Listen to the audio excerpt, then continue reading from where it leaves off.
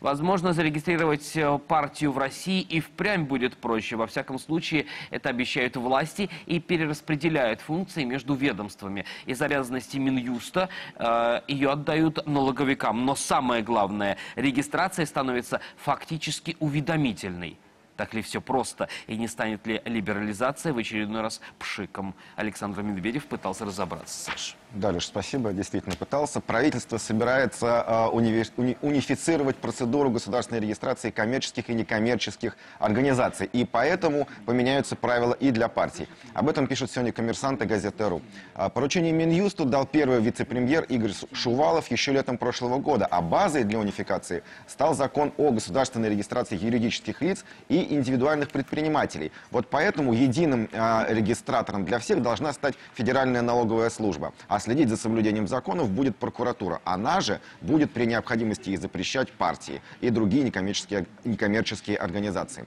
В этом году, напомню, Минюст отказал в регистрации Парнасу и другой России. Суды эти решения поддержали. По действующим законам все партии и общественные движения регистрируются в Минюсте и становятся на учет в налоговой. А право надзора у прокуратуры тоже сейчас есть.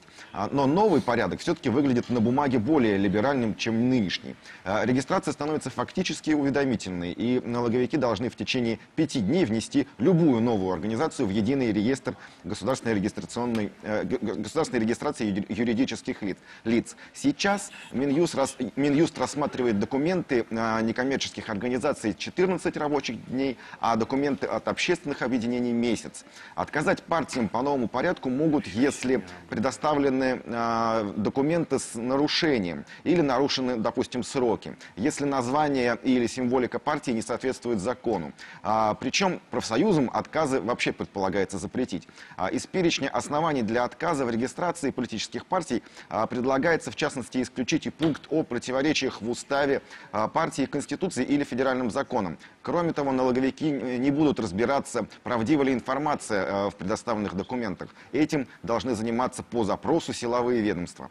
А В действующих оппозиционных партиях КПРФ и правом деле к новому порядку отнестись скептически. А К установившимся правилам все привыкли и понятно, что ждать от Минюста. А вот как поведет себя налоговая служба, непонятно. Там ведь нет специалистов по партиям. К тому же найти запятую, чтобы придраться, может любой орган власти.